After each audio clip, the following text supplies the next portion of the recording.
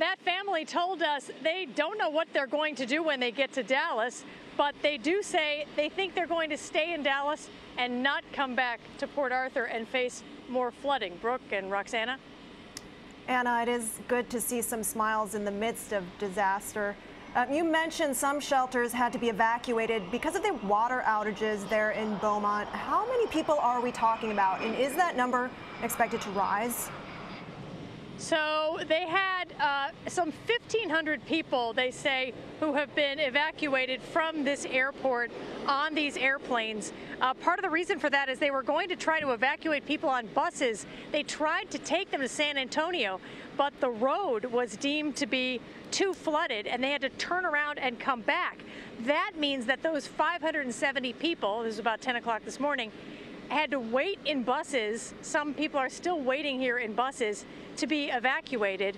And the shelters, they can't operate without water. That's a health and safety issue. It, you know, you have bottled water for drinking, but there's no toilets, there's no place to wash hands.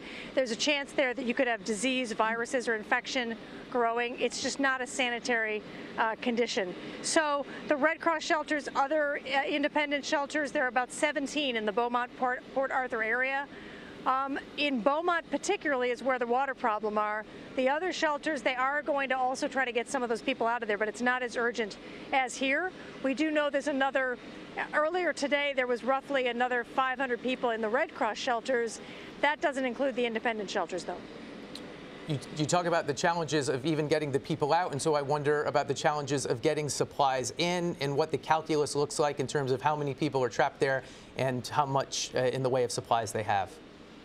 Well, there is a route. We used it to come in. You have to go through some water on Route 90, Highway 90. Uh, there are people who are going out that route. In fact, I saw somebody post on Twitter that, hey, if you're heading out 90, be prepared. We've been going, you know, five miles an hour for an hour and a half. So there's a lot of people thinking, okay, the road is good now. I can make it out.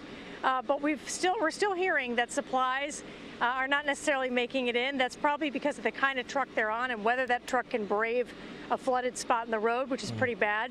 Um, and, and there's not enough food here because there's no grocery stores open, no restaurants open. You can't have any of those open with no water anyway, but the supply trucks are not getting in. So what you're seeing around Beaumont now is very long lines for bottled water because people are, are completely running out of water now. And there's people who are trying to get food.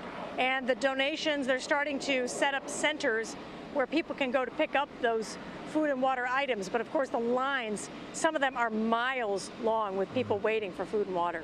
Okay, Anna Werner on the tarmac in Beaumont, Texas. Thanks, Anna.